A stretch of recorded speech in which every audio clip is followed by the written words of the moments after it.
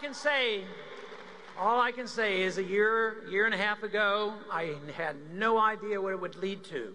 And it's led to a lot more than I ever dreamed of. But I firmly believe now that our day is coming.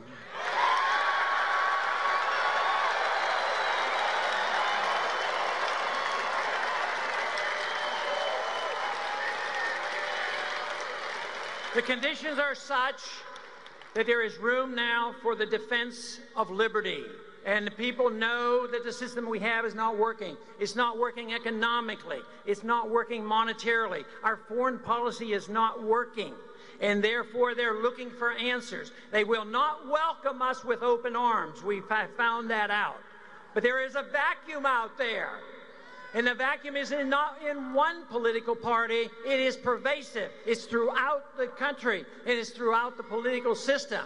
But our views are just as pervasive. Ideas spread, they can't stop them. An idea whose time has come cannot be stopped by any army or any government.